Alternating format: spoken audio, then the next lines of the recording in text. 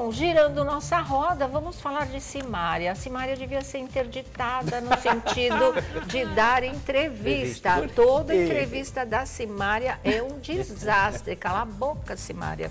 Né? Porque realmente. Porque ela falou do tabaco? Nossa senhora. Não, e o palavreado dela. é de quinta, né? O palavreado é qualquer coisa. eu fico com também, pena né? da Simone. Ela fala, acha que eu ah, vou jogar, eu achei meu periquito no é, lixo. Isso. A gente conhece como periquita. É. Só se ela tiver um bilau e a gente não tem conhecimento. A gente não está sabendo. Não, mas é verdade, Porque eu falei ah, assim, você vai parar nos portais, só eu quero Mas assim, ah, o que a gente conhece é outra coisa, né? É. Periquita. O pessoal é. fala muito, participa de piada, de brincadeira.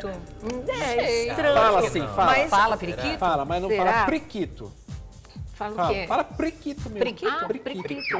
É, mas mesmo assim, aqui soou muito estranho. E ela fala de tabaco, tubaco, tabaco, sei lá é, o quê. É, olha, ela menospreza o cunhado de um jeito assim que só dá para pensar que as uvas estavam verdes, sabe uma coisa assim? Porque ela desmente que ela estivesse interessada no marido da irmã, essa coisa toda. Também acredito que não. Mas o jeito que ela falou, ela desdenhou tanto que você começa a pensar, e acho que aí tem, tem né? Coisa. Quem desqualifica é porque não conseguiu, alguma coisa assim. É, não acredito tá... que seja, mas que ficou meio no ar para muitas pessoas. Você não tem por que desqualificar. Você vai falar não, claro que não, de jeito nenhum e pronto. Aí você precisa transformar o coitado do cunhado, né? Em, a não ser que ela esteja responsabilizando ele hum. pela, pelo rompimento com a irmã, né?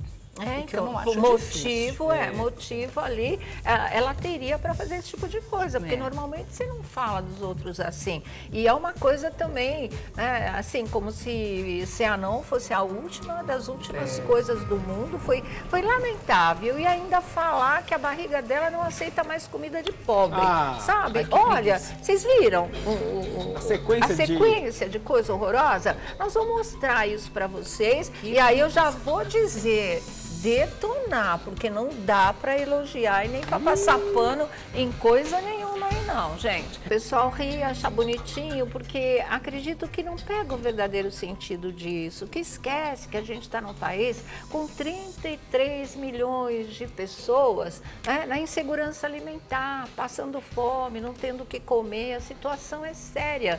Então, muito menos ela, que já passou por esse tipo de coisa, já viveu esse drama, né? E agora está falando que a barriga não aceita comida de pobre, quando tem gente que nem comida tem. Então é de um mau gosto é. total. Mas será né? que ali ela não estava uhum. tentando exemplificar uma coisa? Não conseguiu. É? Ah, eu acho, acho, que não. Não, parece que ela falou assim, ah, é pobre, a barriga quando você come essas coisas, você não acostuma.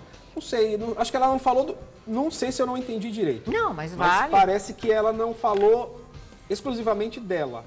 Ela falou assim, você começa a comer essas coisas, depois você fica rico e essas coisas parece que não fazem ah, bem. Mas mesmo assim, não sei. ainda assim tá uhum. coitada da linguiça, né? Tem gente que não tem nem é. uhum. nenhuma linguiça para é, comer, é, verdade. É, é, eu acho, mas eu acho engraçada essa, essa, história toda, porque assim, uhum. antigamente a gente comia de tudo, né? É. Hoje em dia, pobre agora tem intolerância. Eu nunca vi isso.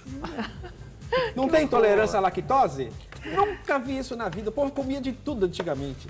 É um negócio. Eu, eu sempre achei que a Simária ela é melhor cantando do que dando entrevista, sabe? É, não, ela acho que ela é devia é só abrir a boca para cantar, é, realmente. Eu tacaria na geladeira com força. Ai, tchau, Simária. É, vai fazer Ou meditação, seja... vai pro Tibete, faz qualquer coisa. Vocês viram o tanto de pi ah, que, tem, né? Uhum, é. uma, uma, ótima candidata fazendo, Nossa. sem dúvida nenhuma. Mas que coisa, gente. Não, isso é coisa para Deus resolver, porque eu tenho caráter, Deus é, não tem. Né? Exatamente, né? mas Deus vai pegar muita é. gente aí. Você acha que ela está mais solta agora, longe uhum. da Simone, que eu acho uhum. que se dava uma seguradinha um pouco. Uhum. Não que a Simone não fale bobagem, a gente dá risada, sim, é engraçado. Sim, sim. Mas eu acho que ela perdeu a medida das é. coisas. Foi uma salada de religião, sexo, tabaco, uh, priquito, tudo junto. tudo junto. ali. Que coisa horrorosa, e era só gente. falar, não, nunca tive nada com Exatamente. ele. Né? Não, sou uma mulher, me respeite, minha história de dor é disso, daquilo, dificuldades. Ok, esses pequenos trechos que ela falou uh, de uma maneira mais né, branda. concreta, branda e séria da vida dela, ok. Mas vem acompanhado tudo de uma mistura de um palavreado tão tão esculhambado que desnecessário. desnecessário. Quis lacrar, né?